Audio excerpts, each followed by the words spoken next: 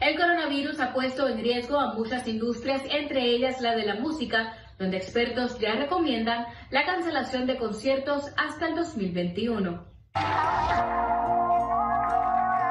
Son los artistas favoritos de muchos y sus giras fueron postergadas hasta el 2021 por la amenaza del coronavirus.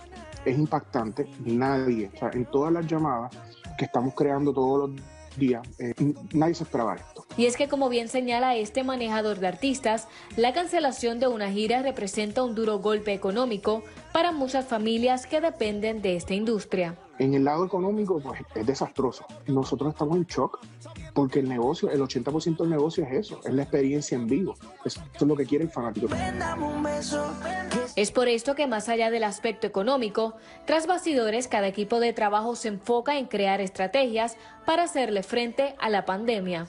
Por lo menos en mi lado, nosotros lo que estamos eh, pues reestructurando todo, por poner tu ejemplo, eh, Osuna, que acabamos de entrar en la carrera de Osuna de vuelta, eh, tenía pautado para ahora, para empezar a subir ahora en mayo, una gira de 30 fechas, o sea, cuando vienes a ver, pues obviamente como artista tengo que bregar con la psicología de él como artista, como que ya entre yo estaba preparado, yo venía con esto, yo tenía tanto dinero invertido. Según expertos en el campo de la salud, regresar a la normalidad tomará tiempo, pues existe la amenaza de que surja una nueva ola de contagios a finales de este año. Lo que conlleva tener cientos y miles de personas juntas en un contacto directo, eso sería la última fase y diríamos que eso tardaría meses si queremos ser este, bien eficaces y bien seguros. Así que aquellas personas que deseen escuchar y bailar la música de su artista favorito solo tienen la opción de hacerlo a través de las diferentes plataformas digitales. Maricel Berení, Telemundo.